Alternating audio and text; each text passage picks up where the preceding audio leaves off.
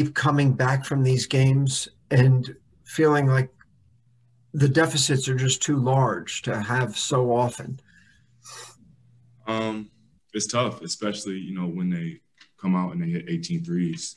Uh, it's hard to pull back from something like that, especially you know. I'm, I'm still proud of our resilience as a team.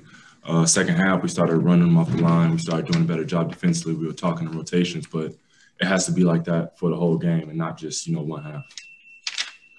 Thank you, Brian Bearfield. Christian, what what was the message at halftime from the coaches? Just communication. Uh, everybody was just a step slow in communication, especially off the uh, blitzes and the double team. Uh, our rotations were a little were a little late, even uh, even at times uh, with me, uh, I was a little late in the rotation. But it's all communication. Once once we do that, you know, like we did second half, you know, things start pulling together. we, we're a hard team to beat, but we have to do that at the start of the game. Can you talk about uh, this is the second time you all played them. You got down by double digits, but you fought through and fought back.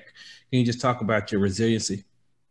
Yeah, yeah, we're we're a resilient team. Um, you know, we have a, got, a lot of guys that are going to fight and claw, and uh, we have a lot of well, a team. We have a we have a bunch of guys on this team that take pride in you know what they do, especially you know a- Avery and John and you know those defensive guys. So at halftime, you know, our message is communicate and you know try and pick up the energy and be better second half, and I think we did that. So I'm proud of that. Mark Gurney.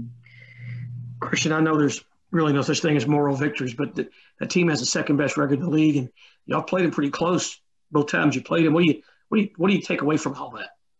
Uh, we still didn't come out with the win. Um, I don't I don't really believe in moral victories. Uh, at the end of the day, we still we still lost, but uh, thankfully, you know, we have we have another game. We get to you know regroup, and we got to, we have to just take this you know day by day, but we have to move on and, and keep getting.